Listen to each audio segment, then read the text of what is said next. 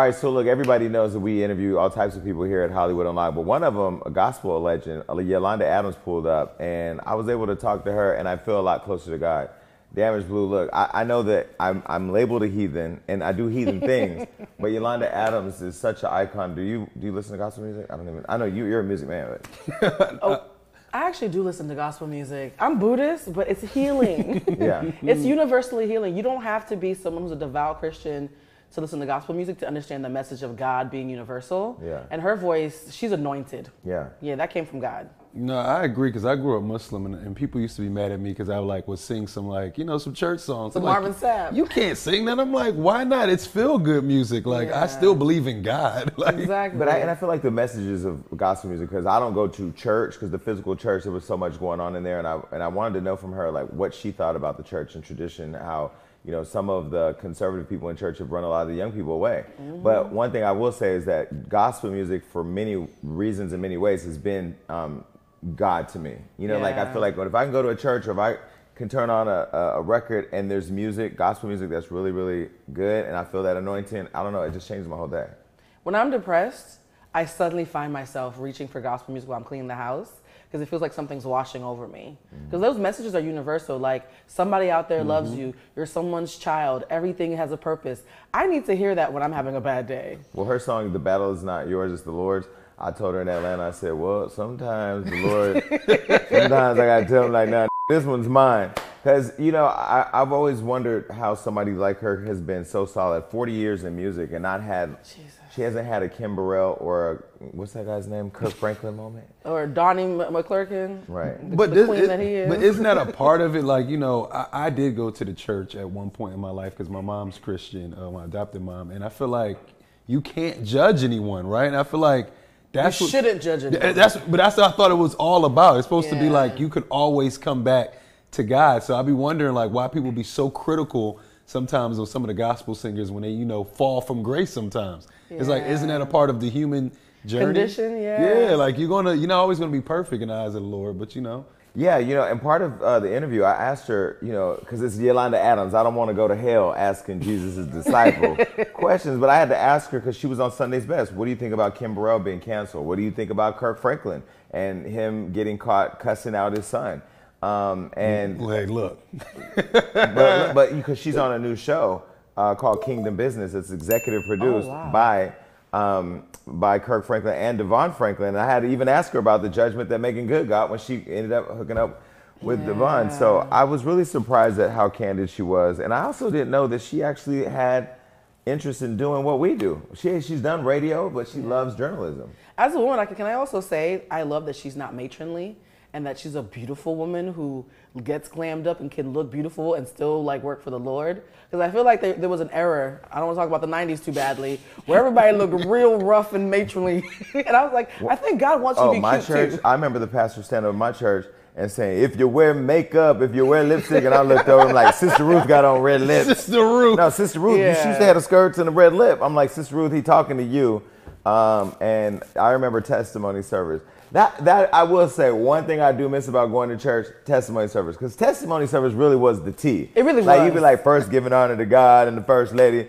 You know, I woke up this morning and came to church, even though some people didn't. You know, thank you for coming, brother. You're like, yo, you just threw him under the bus. So the real tea, where I caught all the tea, that was at church. That's actually really true. And some of our best singers came from church. Yeah. Look at Brandy like that voice, that instrument. Whitney. Whitney, child.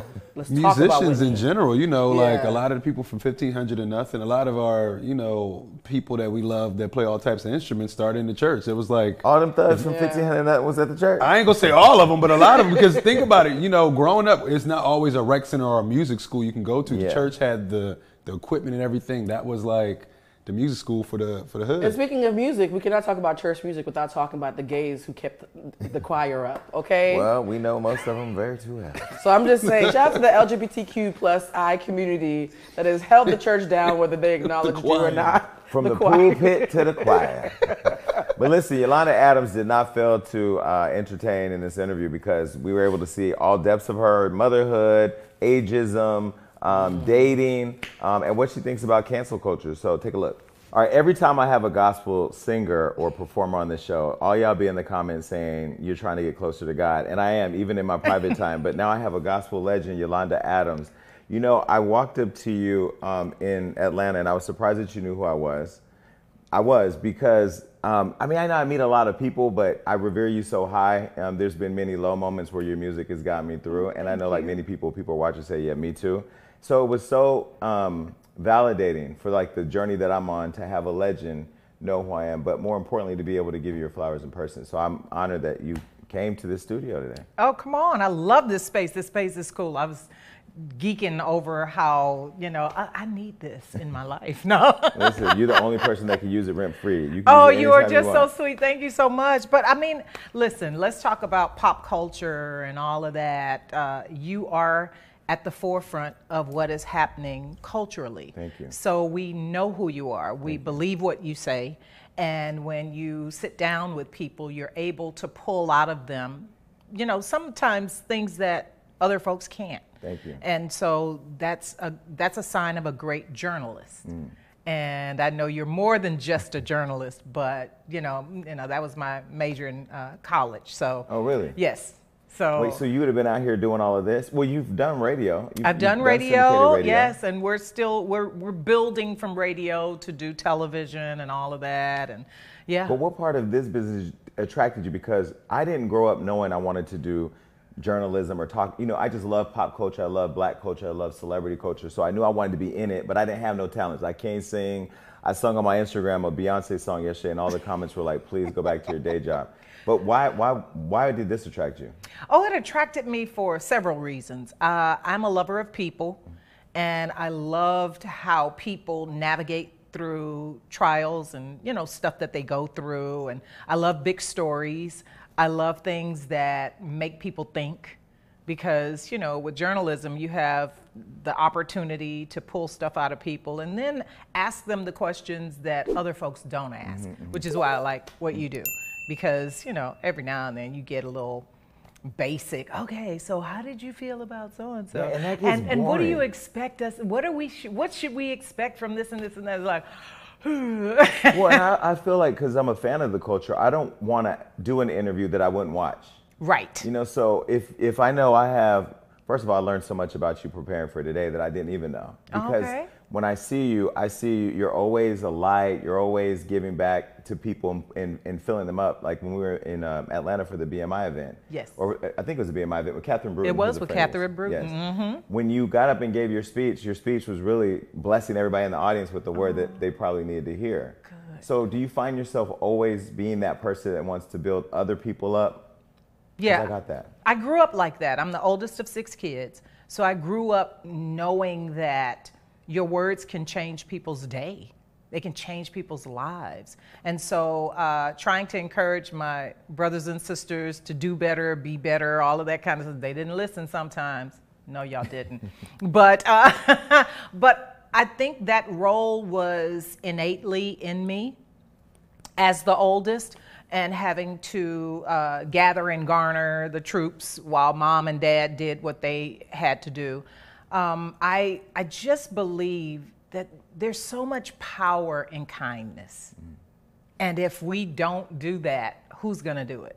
But you'll never have a bad day. Yes. But I mean, why don't we ever get to see it? Like, I want to see Yolanda Adams in a road rage incident where, now that you won't where see. you just have to read them to heaven, you know? No, yeah, nah, you, you won't see the road rage. you know, I, I'll get, you know, I'll go as far as to say, oh, that just pissed me off, you know, kind of like that.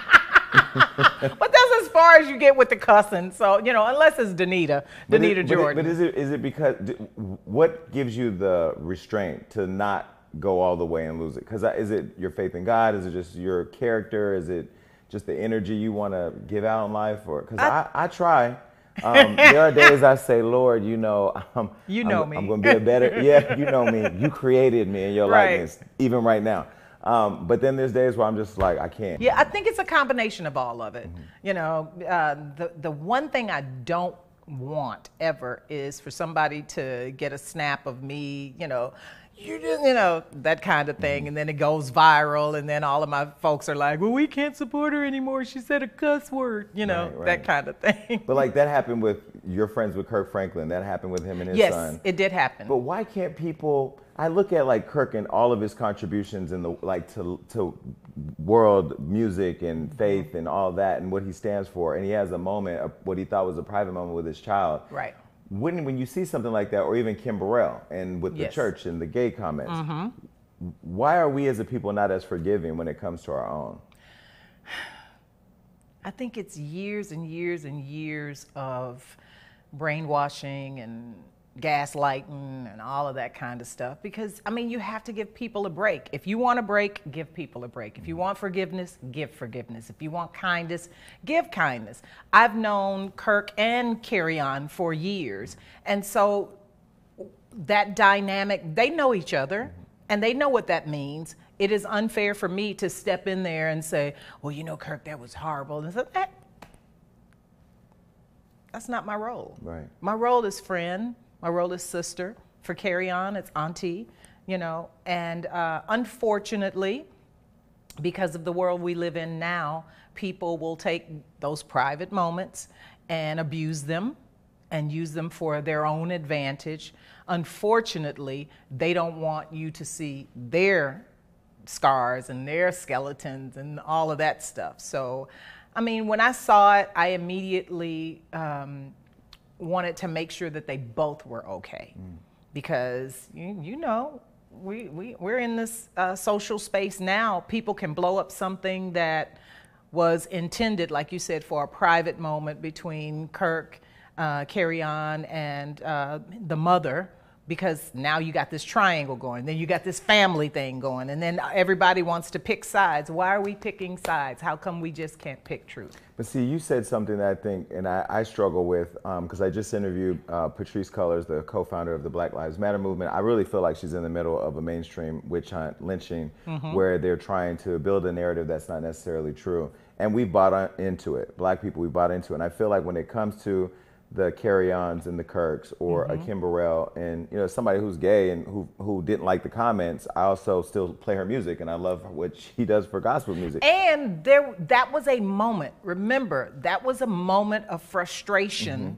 that she had just getting off a plane. Mm-hmm. Somebody said something snappy to her, and you know, again, that was somebody in her congregation who happened to be taping that day and taped that whole thing. So, you know, again, love Kim with all my heart, but I don't want anybody to prejudge her or judge her on a 15 minute blurb or a five minute blurb and forget the legendary um, talent that she actually is. Yeah, and I say we're not the sum of one mistake. You know, or or a sum of one idea. And that's why I think like I've seen moments where our people I think have just gone a little too far. And this is Jason's thought saying, you know, I just feel like we're not as forgiving. And when you said, you know, we want compassion, we want love, we want all these things, but it's easy to forget all that when it doesn't apply to us. Like it's easier to apply judgment and whatever on other people. But it shouldn't be that easy. I agree. because I, I'm very thoughtful in the way I speak and what I say and how I uh, use my words. And I've been like that all my life. Uh, my sister and I were talking the other day, and she's like, You know what? You always said that you were a billionaire. I said, I jumped from millionaire to a billionaire just by saying the words, you know, as a teenager. And she's like, You've all and you've always spoken what you wanted and you got it. I'm like, you know what? I didn't even think about that. Yeah. so are you are you a manifester? Definitely. Really? Yes. But is it manifesting like consciously manifesting, or do you say it and it just somehow happens? Because I'm finding myself in this space where I always say, well, nah, it's really God. Like, as much as I may look like a heathen on camera, uh, behind the scenes, I do pray, and I'm I pray, and I and I thank God even when no, nothing good is happening, and even when bad things are happening, I'm like, you know, there's a lesson in this somewhere. Yes. And and recently I did an interview, I think, with Complex, and I was saying to them that. Um, you know, when my brother died, it really was a moment for me to say, this is literally the lowest moment of my life. So mm-hmm. everything that comes after, I'm I'm already going to be able to get through it. You know, and it's just helped me. So I know that I'm consciously manifesting, but Do you do you consciously map out every step to get to the manifestation, or do you feel like what you think and what you feel and where it's coming from is a place that's going to lead you to it? Well, it all starts with habit. If you are consciously aware that, again, that your words matter and words have power and they can adversely or positively affect your life, as you grow, I mean, I'm 60 years old. Come on now. Okay, so I didn't know you were 60 years old. We're going to get to that. because the way I do my notes, you put the birthday and age at the top, and I'm not going to lie, I am surprised because I don't want to get too far. We're gonna no, get no, no, no, no. But what I was saying that the you know Because ain't nobody watching this right now walk- believing no 60. And you know she don't lie, so. no, I don't. So the more you walk through your life and walk through this, because it's a journey. It's not a sprint. It's not you know a, a hundred yard dash. This is literally a journey of life. It's it's a marathon, if if you want to you know use that uh, track term. And the more you speak kindly to yourself, and the more you speak the things that you know are in your heart, they have to be in your heart 1st for them to be genuine. And so I'm not speaking, you know, oh, I want to be a, um, a horse owner and I want my horse to win the Preakness. I'm, I'm, I'm not concerned about horses. I love horses. I, I'm an animal lover, but I'm not going to buy a billion dollar horse and then race them all, you know, all that kind. Of, So my manifestations are never that. I'm always concerned about my environment, how I um, how I nurture my daughter, because I was very uh, clear when when I was carrying her that I'm not going to raise her, I'm going to nurture her, because when you nurture, you're building, and as you build, the the young mind, which is your child, grows into this amazing adult that you can be proud of. So what's the difference between nurturing and raising? Raising to me is, and I just, I, I don't like the word raise because we raise animals, you know, and nurture means you educate, you encourage, you inspire, you uh, lift up. You know, the, in raising, you don't really do that. You know, you make sure they have something to eat, you make sure they have somewhere to live. They just stay alive. they just stay alive, right. so to me, that's the difference between raising and nurturing. So part of the speech you gave in Atlanta, um, you really, t- your daughter presented you with the award, and then you talked a lot about her and how important that was, and how it made you feel with her being there and being as a student she is, and all of that. Um, was w- the pride came in knowing that you were a good nurturer? and knowing that all of the lessons that she was a part of have really kind of manifested in her life because she's a manifester as well. Prime example, um, she was in middle school and she was looking at different uh, schools to go to for high school. And she went on a, um, on a visit to one school and she's like, Mom, I think I want to go to this school. I'm like, okay, well, you know what to do. So she went, she bought two sweatshirts and two t-shirts. And for two months, between the time she had the visit and the time they got their letters, every day she wore either the sweatshirt with her uh, skirt, you know, her uniform, or the t-shirt with her uniform. And she got her letter two months later, hey, welcome to so and so and so and so. And she's like, I, I did it, I did it, I did it. I'm like, hey, you did that on your own. Mm-hmm. All I did was prepare you. You know, every step of your life, I showed you how to do what I did. Mm-hmm. I showed you how to do what mom taught me, what grandma taught me, what dad taught me, what grandfather taught me. And so I'm a part of this huge lineage of, uh, you know, being careful of what you speak, but making sure that if you say something, you create it. So now you're you're married now, right? Uh, No. You're not married now. Wait, so wait, so you your first husband though wasn't her father, No, no, no, no, and no, that no, no, that no. was an abusive relationship. I didn't That even know you were in an abusive I, relationship. yeah, well, Like- I'm like you- extremely private. And the thing is, I didn't want my experience with him to spill over. to spill over into you know because i'm this i'm this presence and i didn't want that to spill over into his next marriage or his next relationship or whatever Why were you thinking about him when the abuse wasn't thinking about you? Like it wasn't in your best interest to protect him, but right? well it was in my best interest not to talk about it mm. Because i am not going to talk about the negative thing that happened to me over and over and over and again because the more you rehearse something the more it stays in your life the more you look at a thing and say, okay, this was a negative thing in my life. I've learned from this. This ain't happening no more. Mm-hmm. You know. I wrote about that in my book, chapter five.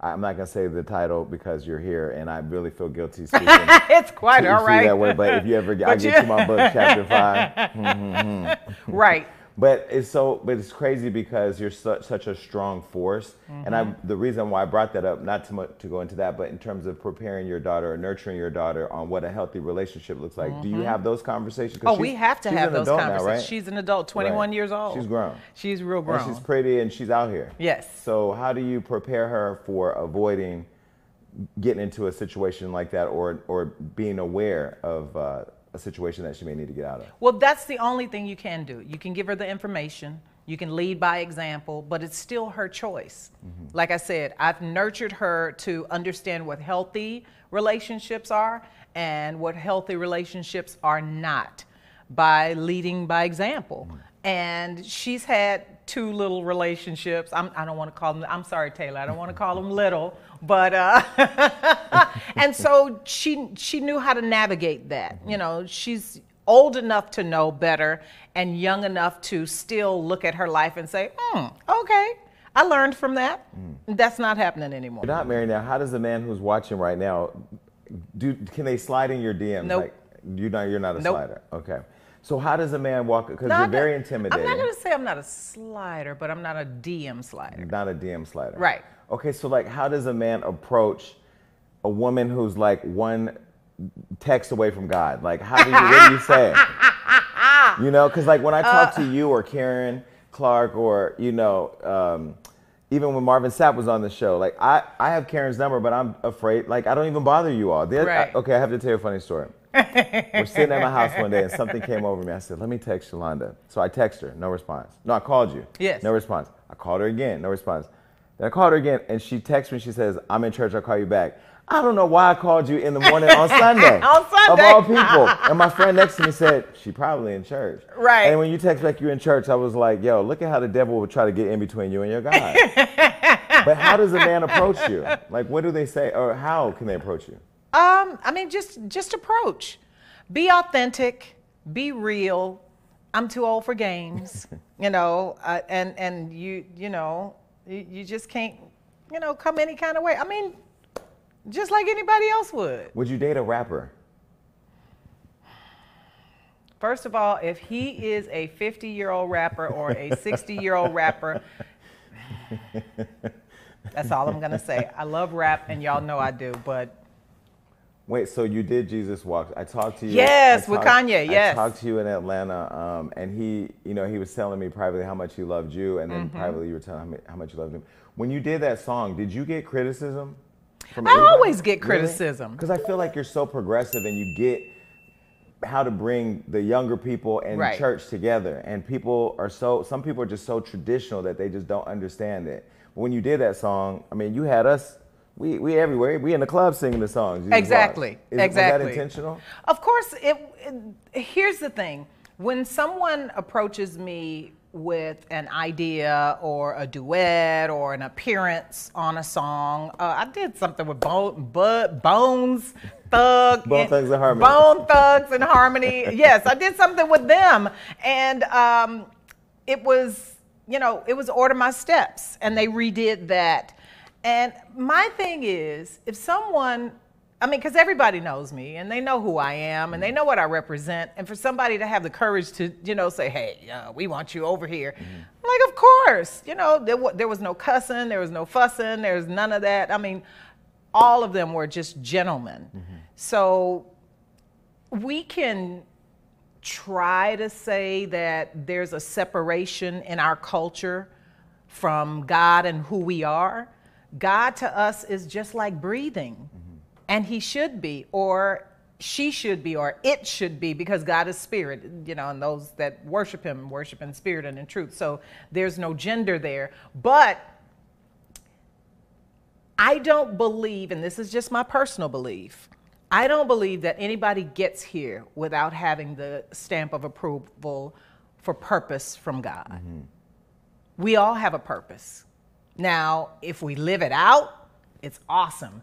If we're trying to find our way, that's awesome as well because you discover all of the beauty that is you that came from from God. Mm-hmm. And so I I don't see a difference in singing a song with a Marvin Sapp who I love and I've known him yeah. forever and a Major because Major is from uh, Texas mm-hmm. and I love him as well. He chose his path, that's his purpose, that's his power. And I'm not going to look at him and say, you know what, you sang that nice little wedding song, but uh, no, that's never been me. And so I've always had criticism. I've been criticized by uh, folks because my dresses were too tight or my dresses were too short back in the day. Uh, had so much makeup. I always feel it's the people that can't fit in the dresses that are mad. and I always say to somebody like, why are you so consumed with what another person looks like? Because if the voice of God is coming out of you in a tighter dress or a long gown or what, because that was part of the struggles Meagan Good was having when she got married to DeVon Franklin.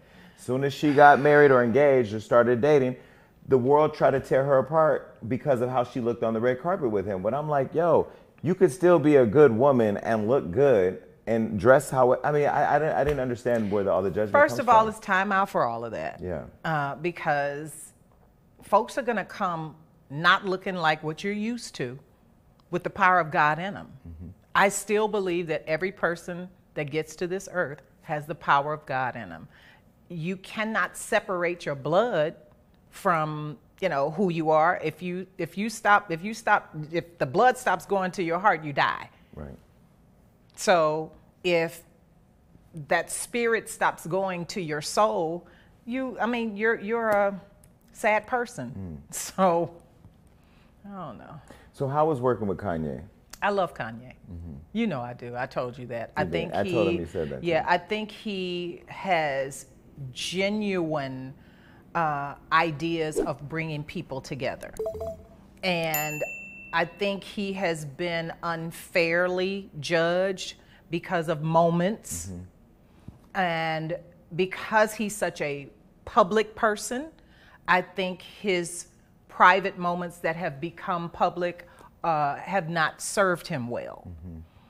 But that doesn't mean that he's not a good person. Mm-hmm. And so I love the person I know. You know, I was uh, when we were in the car. I don't know if I shared this, but we were in the car and um, he was going through his music, and he got to the gospel album and he was playing "You Brought the Sunshine," and so I, I started uh, calling Karen behind him.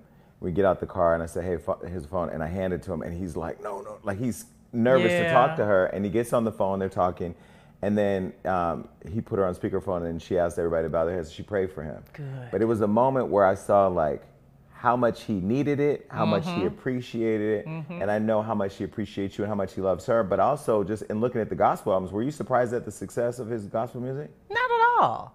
I think because some people were. Why? I don't know. It's in him. Right. You know, oh, and, and but why I, can't people see the duality, right? Well, I don't. I don't know. I'm not worried about why they can't see it. Mm. That's them. They're going to have to answer for that. He he tells folks all the time that he grew up listening to that. He grew up in it. You know, he went to church. It, that, that's not, and, and again, in our culture, it's not foreign for us to love God and be in different parts of the entertainment business. Mm-hmm. You know, we don't make that same judgment on um, sports figures.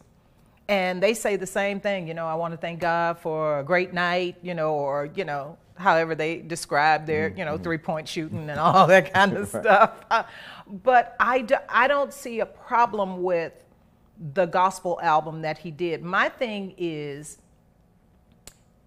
the people who are making the judgment calls, have you even listened to it? Mm-hmm. Because Fred is on it.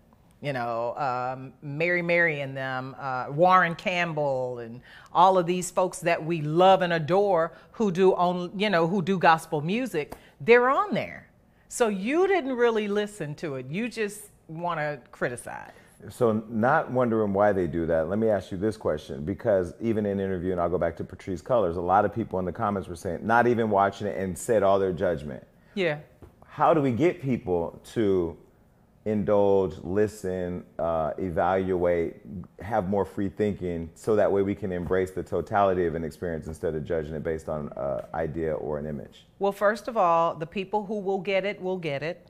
And we cannot spend all of our energy and our time Invest in those trying to, no, trying to convince people because at this part, part point in my life, at this age, I'm not trying to convince nobody of nothing.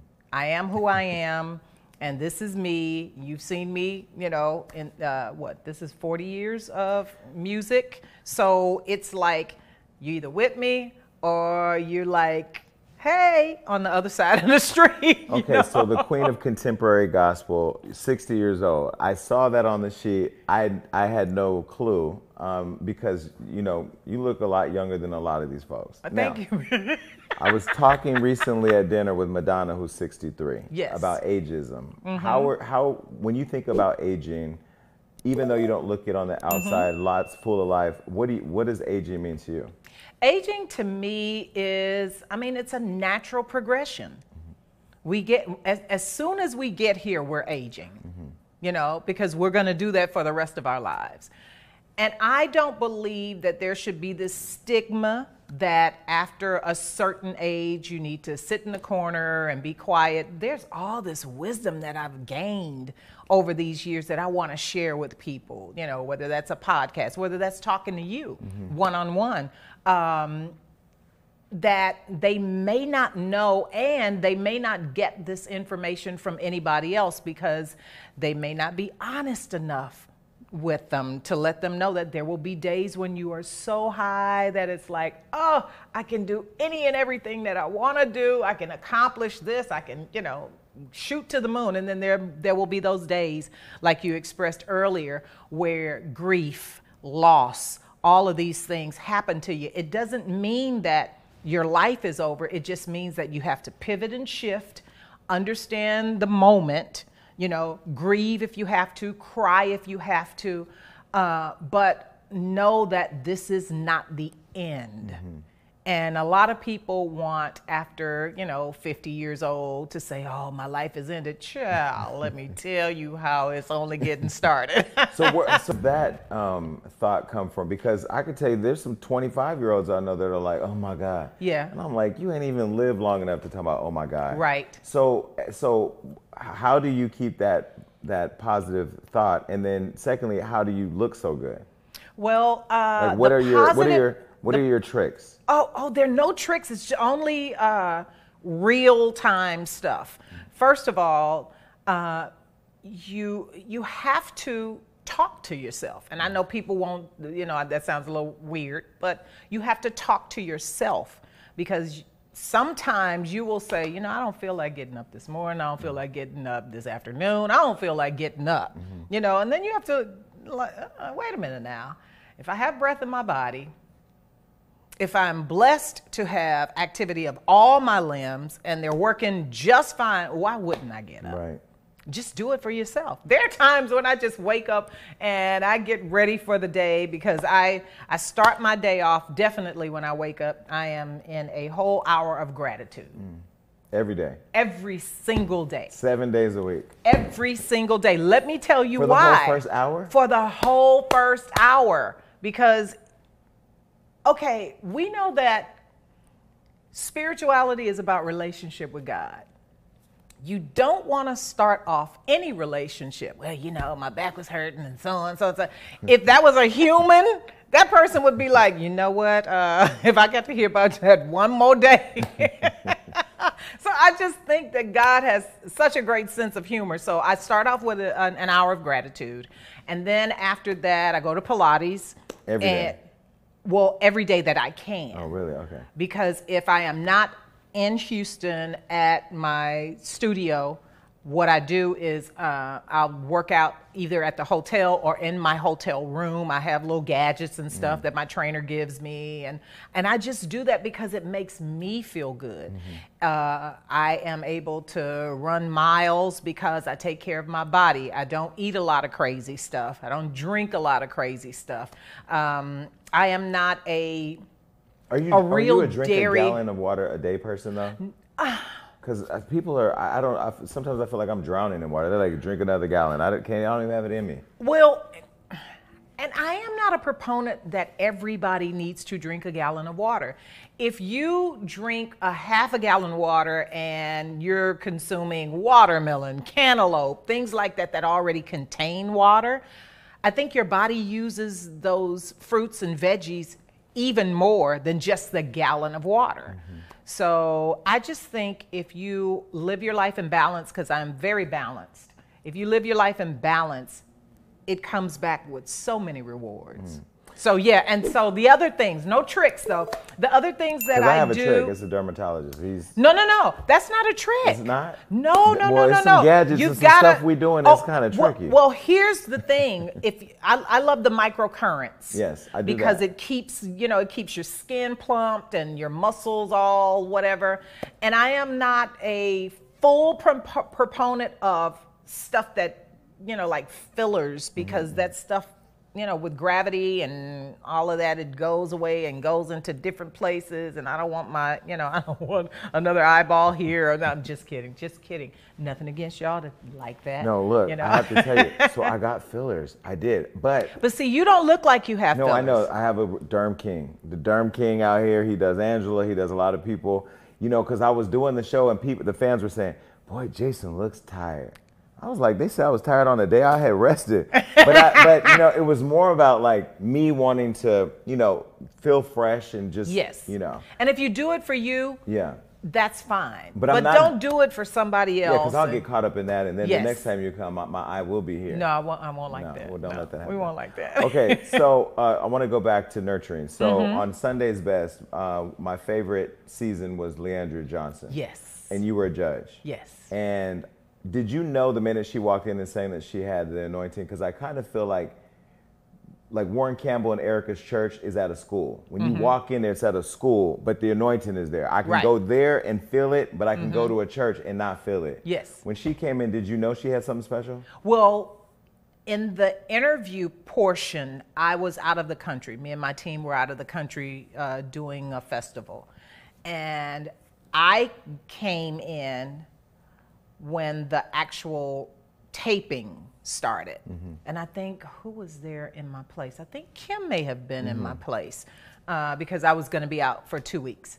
And then when I finally saw her, it was like, oh yeah, oh yeah, oh yeah. Because you can't listen to her and not hear that God that she's been with God. Mm-hmm. And even in whatever she's dealt with in her life, that even validates it more that she's still here and she still wants to sing that. Mm-hmm.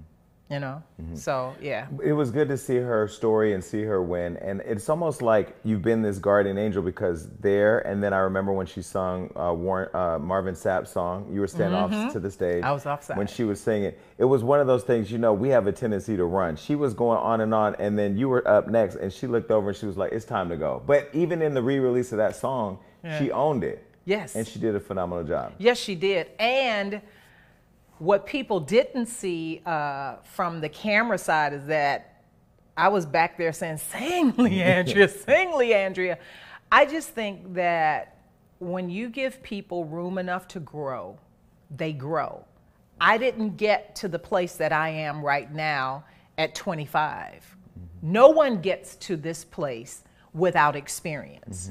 And so the things that I've experienced in my life give me the compassion, mm-hmm. they give me the forgiveness, they give me the tact to deal with people and see people who have said something derogatory or negative about me and not have to. Nobody you know, said nothing derogatory Oh, child, yes, they No, do. they child, why she got that on? That's too close to her it- skin color. that- that's church people, though? That's not, no, like- it could be. It could be anyone. You know, and I don't want to just say church people because we can't just put all people in the church people box, mm-hmm. you know, because you have people who love God, who are not churchy people, and then you have church people who do it because of tradition. Mm-hmm. And if anything COVID taught us is that you have to have a relationship with God at your own house by yourself, mm-hmm. especially And- when and there's a catch- quarantine and if going you catch on. COVID and you ain't right, you better get right because he can call you home at any moment. You are No, funny. th- that's what COVID. Oh my God. No, COVID taught me. COVID taught me you better get it together because you could be walking around here 14 days later. All that judgment you had, now you at the gate locked out. You know what's interesting? Because I used to. So in my book, I talk about um, you know being taken out of the home, going to foster care, and all that. One of my foster parents were, were, was a pastor and a first lady. Mm-hmm. Uh, Pentecostal. I mean, it was people people falling out, and and now even to this day, I can't even go to a church if that spirit's If not that in is- there. uh-huh. But the churchy people or the church people ran me away from the church because I looked at the church. You know, I didn't. I couldn't separate. because you couldn't separate it. Yeah. And and remember, that was early in your development Mm-hmm. of knowing what God really was like and what God really is like Mm-hmm. and what God is to you. And unfortunately, a lot of people, I mean, a lot of gospel artists weren't raised the way I was. Mm-hmm. God has always been a cool element of our lives. God went to the skating rink with us. God went to the grocery store with us. God went to the volleyball games with us. You know, God was just a cool part of my life growing up. So I didn't have the restrictions of you can't wear this, you can't do this, you can't look like that, you can't look like this. God was so cool, He went to modeling school with me.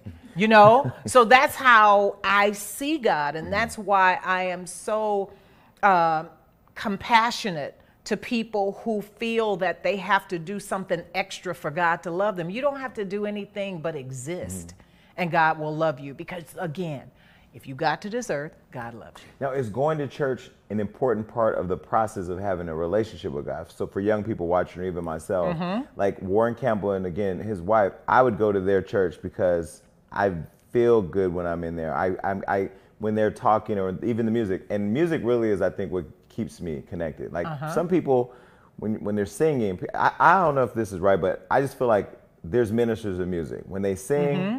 they're ministering to the heart, just like if somebody at the pulpit preaching. Yes. And so they have a good music program, of course, but then they have um, just the word is really good. How do we get young people who may not feel important to go to church or importance to have a church relationship feel that it is important? Well, I think you start with an Eric, Erica, and uh, Warren. You know, people that they view as you know great people, having great environments that they can be themselves in.